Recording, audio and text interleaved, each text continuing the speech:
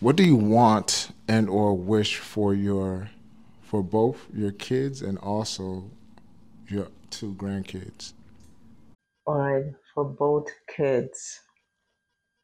Um, my main thing is that my kids be all right in every way, in mm-hmm. in every way. Um, not not not wanting of anything, and mm-hmm. and so um, like like Alex, I always want him to have you know a good job where he can manage his family, take care of his family, mm-hmm. and um, love his my. All I want is for him to love his family, treat his family um, the way I would treat um, my you know my family. Yeah. Love his wife, love his kids. Stop to talk to them, mm-hmm. not just on the rush to go, you know. Mm-hmm. But when they say, Dad, so and so, don't just keep walking. Turn around and, and listen to them. Yeah. Um, and show them love. Take them to church, mm-hmm. um, Sunday school. Spend time with them. Um, treat your wife like a queen. Um, mm-hmm and um, spend some time at home, not to hang out a lot outside. Yeah. I always want that with, with my, so I'm happy when I see that. Yeah.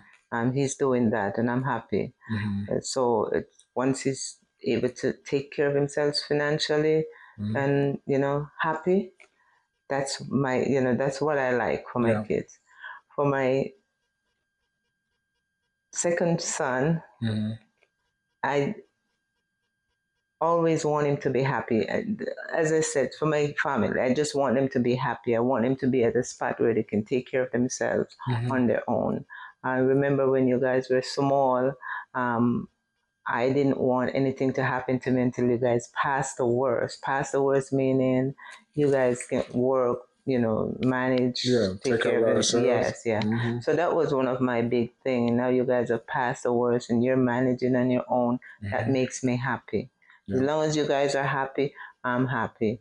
And um, when I see you guys staying well, like eating well, eating, mm-hmm. you know, properly and stuff, that makes me happy too. So mm-hmm. in life, you know, I want you to guys always have God at heart because He's the main, you know, provider, supporter, pro- protector.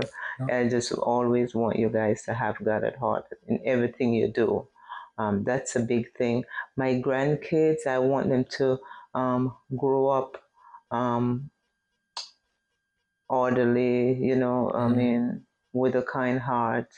In church, so it's a big thing, mm-hmm. um, and loving, you know, and, and caring. Yeah, that's a big thing. I want them to, you know, be okay, be healthy. Yeah, I want that the same for for Zanala and Lex as well definitely wanting to grow in the world because the world is tough. It, it is. Gonna, they're gonna have being a kid nowadays is tough regardless. But you know, Zanila, of course, is gonna have a pretty tough time, as well as Lex. They both have some tough times, but as long as their mindset is, you know, is on a more forward moving, more positive, more outlook, have that DatsLife mentality, as well as just you know uh, mindset of the Bible's instructions from the Bibles about how to really counteract, you know, the devil that will attack because it's always gonna, they're always gonna, it's always gonna be ups and downs in life or downs in life. So it's just how to rebuttal,